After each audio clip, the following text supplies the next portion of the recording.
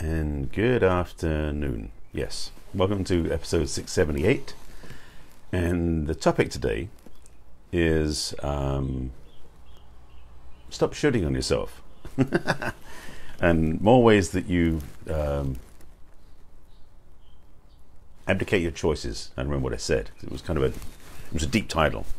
Anyway, so the title again is I'll get back to get back to the second. Let me choose myself so you know who I am and what I'm about and why I do these talks every single day.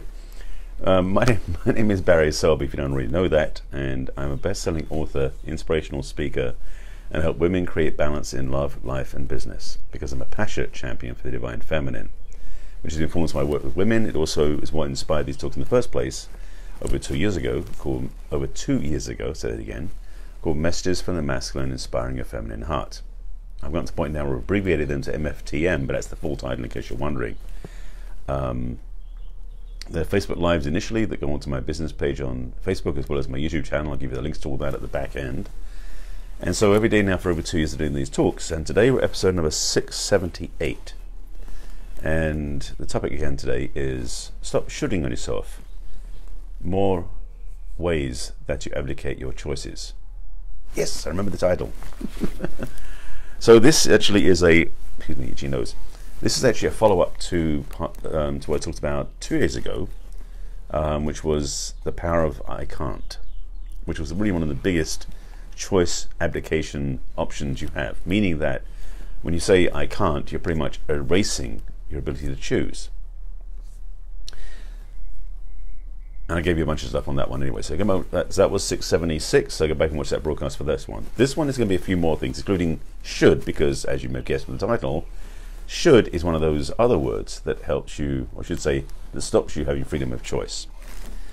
And I've got a few more up my sleeve, and I may just do more today. I was, I was going to do them every day this week, but yesterday I got into a rather um, impassioned talk about being okay being single when all your friends are saying to you, how come you're not in relationship or how come you're not married? So that was yesterday's talk. So I'd skipped one. So I was going to do one every day, but it turned out that Monday, which was two days ago, is six, episode 676 was about the, um, the, the power, the negative power of the phrase I can't. And so today I'm doing a few more on the same theme as that. So I skipped today. So just, just know that I'm getting to the point I was going to get to on Monday today. So let's start with the word should.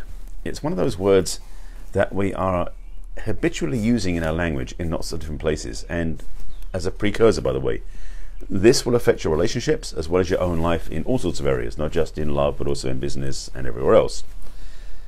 Because when you use the word should, it generally has a weight of judgment included. A free bonus. um, it's judgment. I mean, should is one of those things where it's like, you know, you should do that or I should do that, versus, well, I'm going to get the verse in a minute. But by saying that, you're basically saying, um, by doing that, you're in the right. If you don't do that, you're in the wrong. There's a judgment attached to it that creates a heaviness and also a lot of pressure.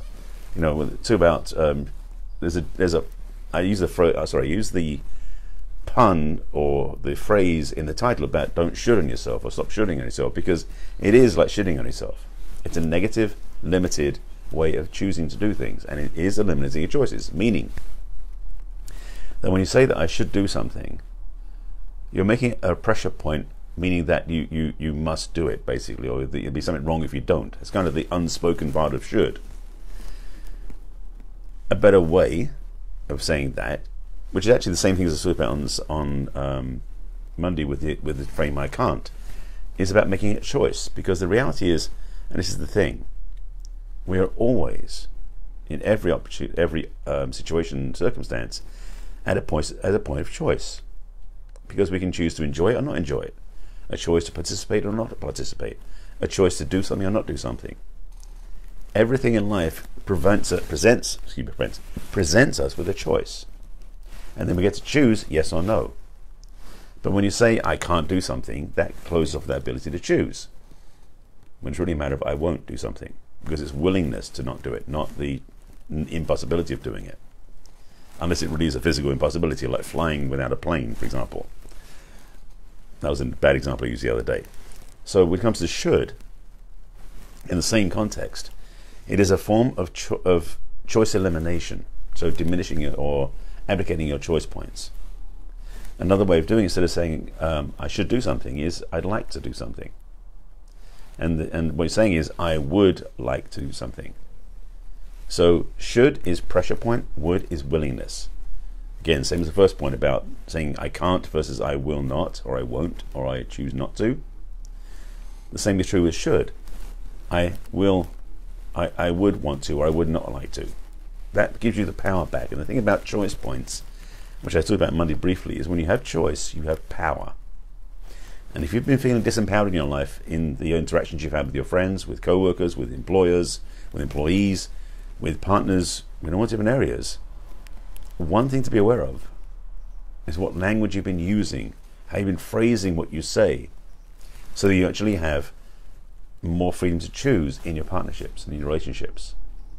This is freedom, my friends. This is a freedom opportunity because by knowing that you're making a choice to say something that you will or won't do versus I can't, or I should, or I shouldn't, it gives you the freedom. When you start saying I can't do something, or I shouldn't do something, or I should, there's a pressure point of, um, well, there's pressure being put on your choices that basically limits the ability to choose. I'm deciding if I want to give you another one today or I'll give you one tomorrow. Let me see. I want to give you a few more today because this is this is a this is a package deal. So if you've once you understand the power of eliminating the word should from your most of your languaging. Now, let me one caveat. As I mentioned about the word can't, there are certain times when using the phrase "I can't do something" is accurate because it's a physical impossibility, perhaps. But wherever there's another choice of saying when I'm willing, I'm rather not do something, or I don't want to do something, or I'm not going to do something. That is when you're choosing to not do something versus can't. Same with should, in a sense that you can make choices otherwise. However, there are times when saying should is kind of a pressure point that is relevant. You know, um, let me think. One that comes to mind as an option to play with is I should eat food once in a while. It's, it's good for me.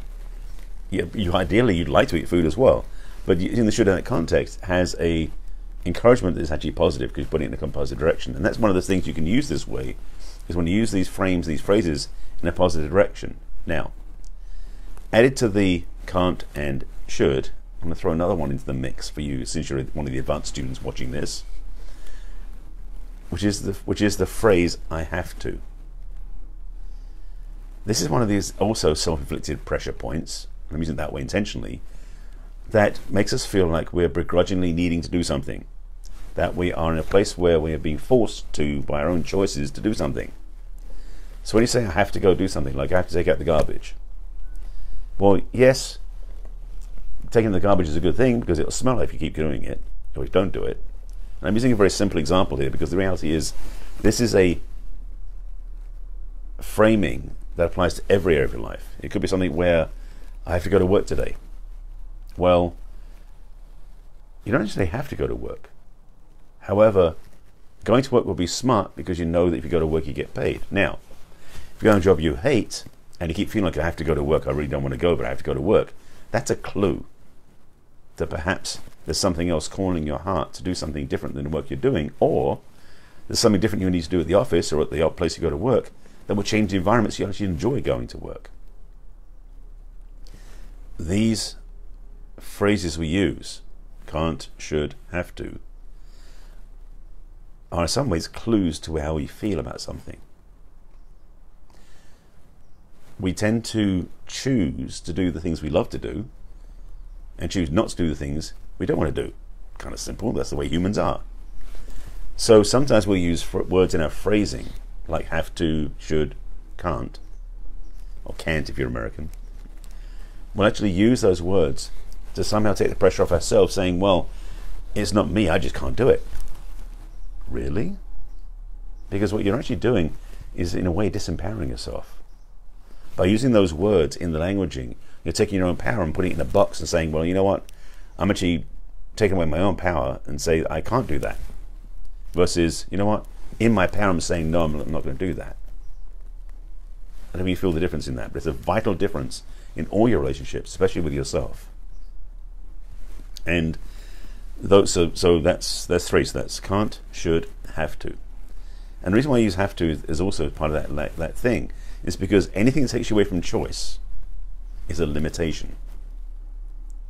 Now you can choose certainty, so it's not about it's not about um, always having a plethora of choices. It's about making the choice yourself.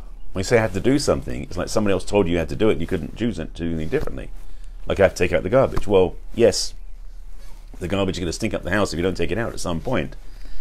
But I would say you're choosing to do it rather than put up with the smell. So you have choice again. The have to languaging is a another one of these elimination of choice, elimination of power, and elimination of freedom. So I'm advising you to watch these words in your language because when you take them out of your language and replace them with other words like liking to, wanting to, choosing to, you have your power back. And if there's any more, I'm going to throw at you today just to keep you busy. Um, it's funny because I've had this um, unofficial label sometimes in my communication with my clients, just to out myself, where I've been kind of the language police. Um, because I've watched my clients time and time again say things that are not true because they've been lying to themselves by saying, Well, I can't possibly have that. And it could be something simple as like, you know, I, I can't have the relationship I really dream of because I don't because I don't think I'm worthy of that.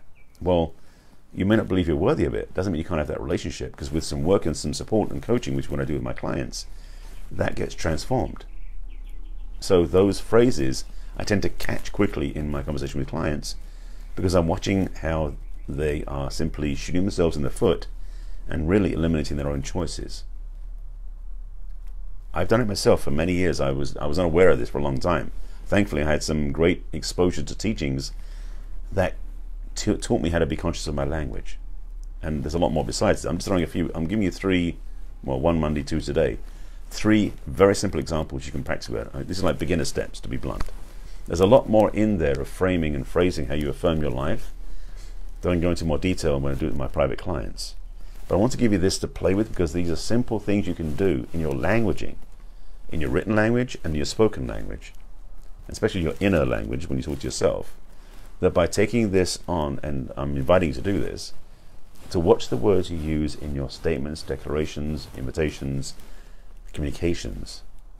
If you use the word can't, the word have to, and the shoulds. Because if you take those out and replace them with real, honest words, because those are not always honest words, you'll be you may just start discovering that you're actually more, more filled up with power, more more aligned, more fulfilled, and more free to choose what you really want. A lot of work with my clients is really giving the power of their choice back. Even though it's about relationships and about being whole and healed from past wounds, there's an there's an there's a um, opportunity to release any sense of suffering. In the past, in, in with, with some of my clients working with past wounds, there's an attachment to those past wounds that somehow is justifiable because they screwed up or something else happened because they judge themselves, and that that trap, self-inflicted trap, is maintained a lot of times by the common language they use. You know, I can't love again because I screwed up in the past, or whatever that framing is, it's not really true. But by affirming it, or I should say, no, I won't use that term. I have another word I use for negative affirmations. But by by disaffirming, if that's a word, um, by affirming negatively, they're maintaining a limitation in their way of living. If you're dealing with yourself, this is a clue to help you with that. Free gift, you're welcome. If you want to go deeper with that, I'll put a link in the comments so you can sign up for a discovery session with me because it's maybe a trap you're only you're actually not aware you're walking into. The language you use is that powerful. Part of that also, and part of this reminder is that we also sometimes separate ourselves from our love, separate, separate ourselves from our beingness because we're running a rule book up here that cuts us off at the neck, so we're not even connected to who we are. And that's not the way to be in healthy relationships with anybody. So I'm hoping that you'll take these words on as a opportunity, as a challenge, as an invitation to explore how your life can be different just by the words you use in your communications. the power of the word is very real. And if you choose to use it, you will find yourself extremely, um, well, I won't say extremely, possibly surprised by the results. So I think I'll leave it there. I'm going to give you some, some insights to that. But again, I'll put a link in the comments for this conversation with me. Um, if you really want to find out more how to work with this and how to transform your own languaging in your relationships with yourself, with other people, romantically, business, or relationships. This is bigger stuff than a lot of people give, give, give credence to. You might find yourself having some puzzlement about why this is so important. But if you try, if you watch your languaging, if you become a witness to what you say, an observer to what you say, and catch those words as they come out, or catch those words as you think of them, and you change the languaging, you actually change every single relationship you're in. You have that power. So again, eliminate if you eliminate the words can't, have to, and should, those that trifecta, there's a few more, but I'll talk about those tomorrow. Maybe we'll see. I, did, I promised on Monday didn't deliver till today, so bear with me. But having that understanding to take those words out of your your conscious language and become more aware of what you're saying, actually making your language conscious and taking these words out of the the language you use. That's actually a better way of putting it. You'll discover that you actually have more freedom in your life, more ability to maintain and attract what you want. And if you're looking for love in the wrong places, this may be one of the reasons why you're doing that. I think I'll leave it there. I appreciate you watching and being with me for this broadcast. It's one of those, not the most exciting one necessarily, but it's a fundamentally powerful way to transform your experience if you're willing to do it. As always, these are invitations, not declarations for you. These are just recommendations I can provide to offer you some guidance to make your love life more powerful, more effective, and more enjoyable. If you are feeling ready to do that deeper work, Again, I put the link in the comments. You can find me and reach out for a Discovery Session. And take these words on. Watch the language you use and be willing to transform this experience once and for all. This is not for the light heart. This is not for the faint of heart. Um, this is yeah, simple stuff, but it will change your life. So with that, I thank you for watching. Um, thanks for being me as, as always. This is my daily Facebook Live um, at 5 p.m. Pacific time on my personal page, which is facebook.com forward slash Barry Selby. Watching the replay, maybe on my business page, which is um, barryselby.author. Or if you're watching my YouTube channel, which is Barry Selby, please subscribe to that channel. I'm looking to gain some more subscribers, so please do. There's a, there's a playlist on my YouTube channel called Messages from the Masculine. My YouTube channel is Barry Selby because I didn't say that. So with that, thank you for watching and take these words to heart. They will change your life. It'll give you choice back and give you more freedom in what you want and how you are and who you are. With that, thank you for watching. I will see you again tomorrow. Take care. Bye.